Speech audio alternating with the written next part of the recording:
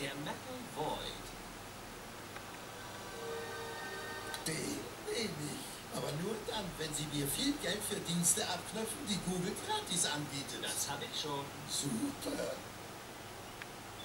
Dieser Computer ist toll. Ich sehe mir den neuesten Sophia Coppola-Film in 20-facher Geschwindigkeit an, damit er aussieht wie ein normaler Film. Jetzt ist er aber stehen geblieben. Oh nein, der Vogel hat sich gerade bewegt.